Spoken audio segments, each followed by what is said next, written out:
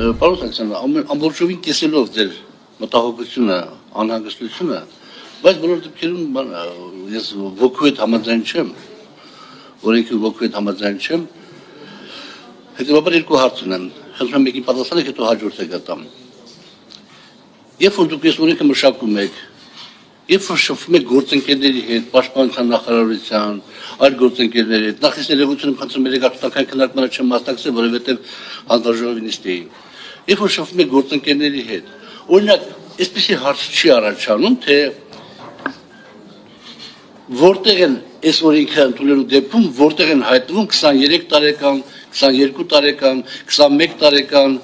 երիտասարդները 14 տարեկան, 13 տարեկան, 12 տարեկան պատանիները որտեղ են հայտնվում այս օրենքը ընդունելու դեպքում։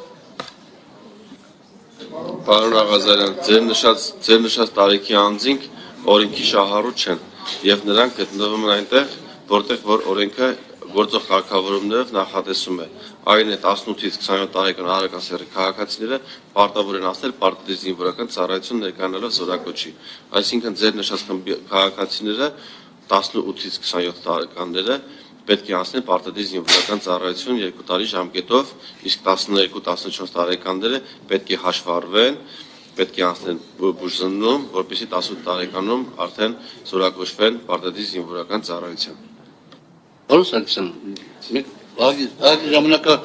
մնա գործընկերներ ենք իհարկե, եւ ես վստահ եմ, որ դուք իմ հարցի մասը հասկանում եք։ Եվ Եվ ես վստահ եմ, որ դուք իմ հարցի իմաստը հասկանում եք։ Եվ հետեւաբար, եւ հետեւաբար դուք պետք է իմ հարցին պատասխանեք ըստ բովանդակության։ Ես հիշում եմ նույնիսկ ազգաժողովում, երբ որ դուք զեկուցում էիք, երբ որ ասեցի, բայ դեպքում 25 տարեկանները որտեղ են, դուք ասեցիք 25 տարեկաններն են։ Այս օրենքի տականում հիմա հանել եք, բայց ես բնականաբար ինդիկատիվ ունեի, որ այդ օրենքից դուրս ներքև տարիքային խմբերի հետ կապված։ Հիմա բա ասենք 12 տարեկան տղայի papan, 11 տարեկան տղայի papan չի մտածի արդյոք որ մի 15 տարի հետո նա ուրիշ Հայկ Սարգսյան կգա ազգային ժողով, նորից նույն օրենքը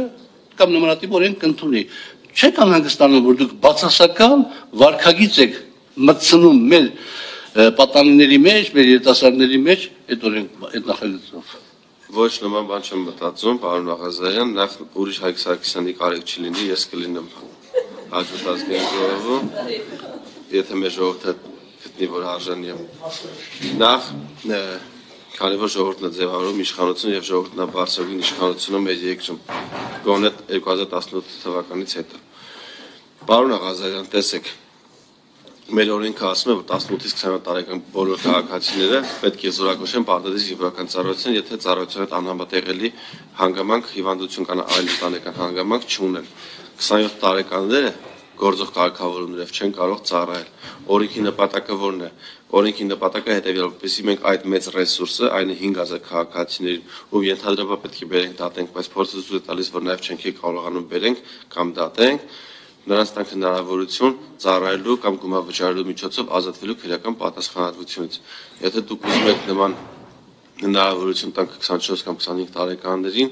դա իմ օրենքը չի նախատեսում, դա կլինի խտրական վերաբերմունք եւ ընդհանրապես օրենքի տրամաբանությունը կփոխվի։ Եթե նման հնարավորություն տանք, պետք է նման հնարավորություն տանք նաեւ 18 տարեկաններին, հա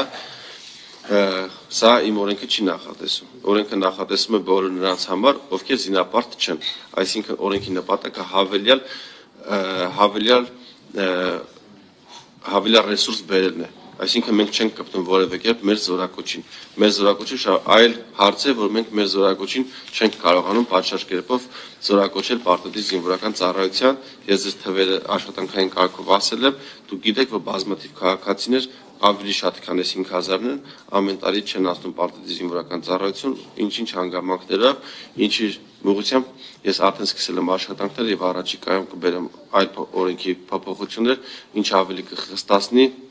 եւ մեր քաղաքացիները պարտավոր կլինեն ասել պարտադիր զինվորական ծառայություն կամ այլ ընտրանքային աշխատանքի պետք է անցնեն, եթե ունեն ծառայության հետ անհամատեղելի հիվանդություններ,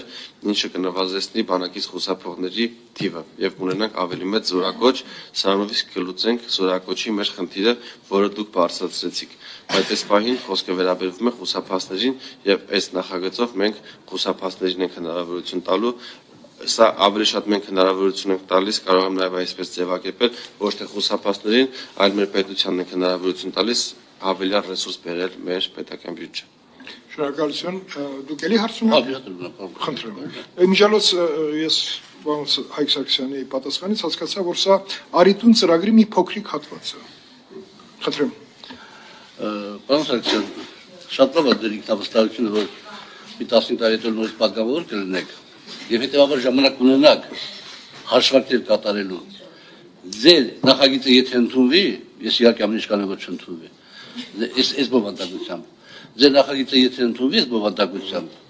ապա յուրաքանչյուր մեկ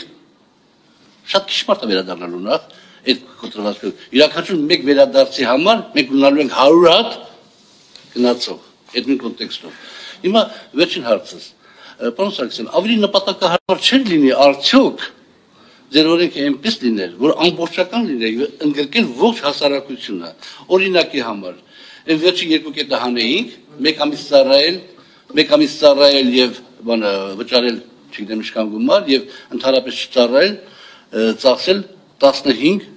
վճարել 15 միլիոն դրամ։ Միգուցե վերջի երկու կետերը հանենք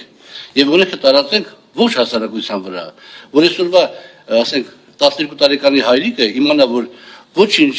իր տղան կմեծանա, ինքը մի քիչ գումար կաշխատի, կգնա 6 ամիս կծառայի, այսքան գումար կմուծի, էլ դադարյուն չեն ընկնի, չեն ընկնի Ռուսաստանները, Ամերիկաները, Ֆրանսիաները իրաց կյանքը կորցնեն ինչ-որ իմաստով, կյանքից մի էական հատված կորցնեն ինչ-որ իմաստով։ Միգուցե այդ տարբերակով գնանք, որ ամբողջ հասարակությանը ընդգրկի այդ օրենքը, այսինքն յուրաքանչյուրը իմանա այսօր, այսօրվանից, որ իր տղան մեծացավ, դարա 18 տարեկան, ինքը հնարավորություն ունի այնպես անել, որ իր տղան ծառայի 6 ամիս եւ վճարի որոշակի գումար։ Ով այդ հնարավորությունը չունի, ասենք թե գնա ծառայի, ասենք մի տարի քիչ վճարի կամ երկու տարի ծառայի։ Որպեսզի արդարությունը Դուք հիմա ելույթ եք ունենում, թե հարց եք տալիս։ հարցրեք ու ելույթ Շատ լավ, ինչեվ ես ասեմ, դուք հիմա նաև մեկնաբանություն արեցիք, որ այս օրենք ընդունել դեպքում կստացվի սա։ Դուք ունեք վերլուծություն, ունեք ես սիրում եմ հարցապնդումների տակ միշտ տեսնել վերլուծություններ։ Եթե չունեք Հայկ Սարգսյանին խնդրենք, որովհետև փաստերի լեզու կառավարության անդամների եւ նաեւ մի քիչ ձեզ իհարկե, Այո։ որովհետեւ Բարսաշյան պաշտոնյա եք։ Մենք շարքային քաղաքացիներ ենք։ մահկանացում են։ Մասն ես շփվում ենք ամեն օր, շփվում ենք մարդկանց հետ։ Շատ ամեն Պարոն օր։ Սարգսյան, խնդրեմ։ Պարոն Աղազարյան, պարոն Աղազարյան, Ի պարոն Աղազարյան, չեք լսում։ Ի ուրախություն ձեզ դուք շարքային քաղաքացի չեք, դուք ազգային ժողովի պատգամավոր եք, ունեք գախնի եւ ոչ գախնի տեղեկատվությունը տիրապետելու իրավունք, որից ցավոք սրտի չեք օգտվել, ու հիմա անում եք հայտարարություններ, որոնք իրականությանը չեն համապատասխանում։ Տեսեք, 2019 թվականը միջև մենք ունեցել ենք սահմանված քաղաքի խախտման օրենքին, օրենքը, որենք որը հնարավորություն էր տալիս 27 տարի լրացած եւ պարտադիր զինվորական ծառայություն չանցած քաղաքացիներին վճարել